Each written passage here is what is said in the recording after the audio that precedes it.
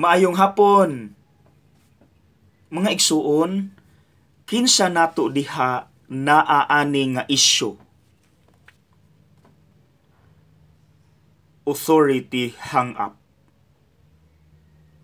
Kuyaw biya ni. Nganong kini man ang migawas sa pamalandong? Pagbasa gyud nako sa ebanghelyo karong adlaw kanigyoy kabalik-balik. Ngano?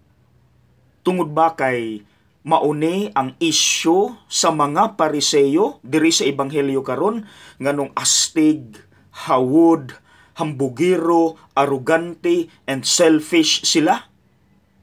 No, wala ta kabalo. Wala man gud pod gibutang sa Bible nga maugyoy ilang isyu. Mga igsuon, base na ay mensahe ang Ginoo nganong kini ang migawa sa atong pamalandong karon. Ang mensahe niya nga kung naataan ni unsay nahitabo sa ebanghelyo maoy mahitabo nato. Ug ang luoy ang mga tawo nga naa sa ubos nato ilabi na kung ikaw leader nga naa diri taas. Now, para masabtan ninyo atong balikan ang ebanghelyo. Okay? Now, mangayo kog dispensa nga mutaas-taas na punta karon. Importante ka ini. Sige. Unsay nahitabo? Number one, kay tuluman ka buok issues.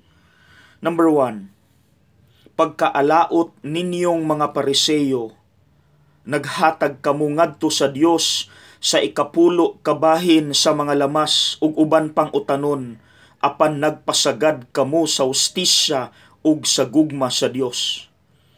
Kining mga butanga kinahanglan inyong buhaton sa walay pagpasagad sa uban. Nagpasikat sila sa Dios. Gipasubraan nila ilang halad ngadto sa Dios pero wala di ay sila'y pakialam sa mga tao nga anaa sa ubos. Ilang gipasagdan, wala sila'y justice, wala sila'y gugma nga gihatag. Oppressive sila. Hadluka na no? Number two nga epekto sa authority hang up. Pagkaalaot ninyong mga pariseyo, gusto kamo sa espesyal nga mga lingkuranan sulod sa mga sinagoga ug nga yukbuan kamo didto sa mga merkado. Kuyawa ang tawag bitaw ana mga igsuon, nahimo na silang title whore. Nalumos sila sa ilang pagka titulado. Naami dire, sikat mi, simbaha mi, hawud mi, naaramos ubos. Pagkahadlok anak. Ikatulo, pagkaalaot usab ninyong mga magtutudlo sa balaod gipapasa ninyo ang mga tawo ug makabuktot nga palasanon apan kamo mismo dili gani mo hikap niini bisan sa usa ka tudlo ninyo aron pagtabang kanila sa pagpasan sa maong karga. Kadluka ani oy. Nahimo na silang authoritarian hambugiro hawod ni ami dinhi maunang kamuray suguon di na mi mag-apil-apil. Pagkahadlok mga igsuon maunay mahitabo nato. Kung dili nato ni madil ilabi na kung leader ka. Sumala sa mga psychologists asa daw ni gikan. Naiduha ka examples. Kinsa ninyo diha sa gamay pang bata?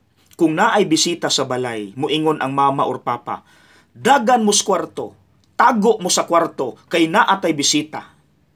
Hala, mga igsuon. Ikaduha nga example, muapil gani taog tipok sa mga tigulang, ilabi nagnay bisita. Dayon ingnon ta sa atong mama ug papa.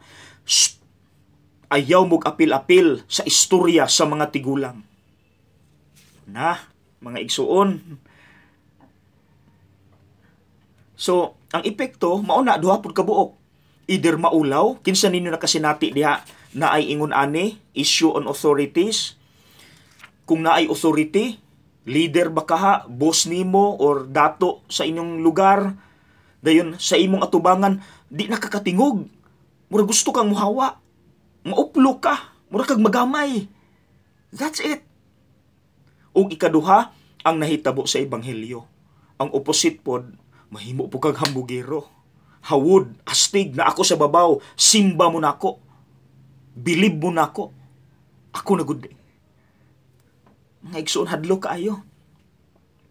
So hinaot pa unta na atay buhaton. Well, ang atong buhaton number one of course is to pray, pray, pray. Nga unta, mapariha ta ani nas- nasulat sa akong t-shirt, Pastor Bonus, si Kristo ni.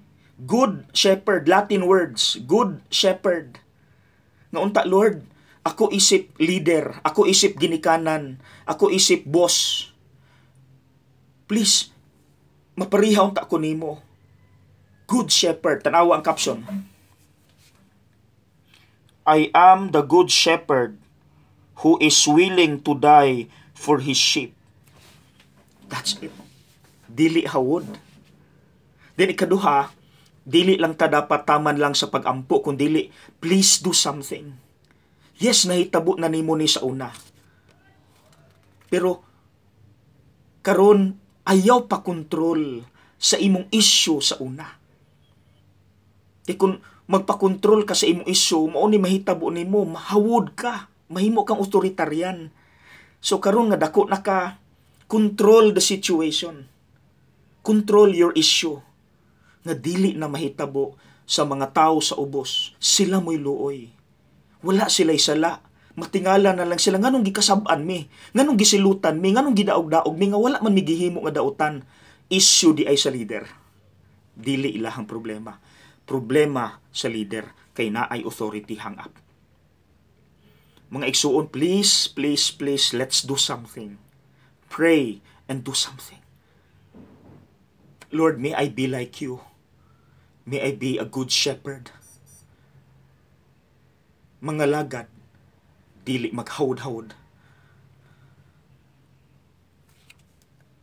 Okay? God bless!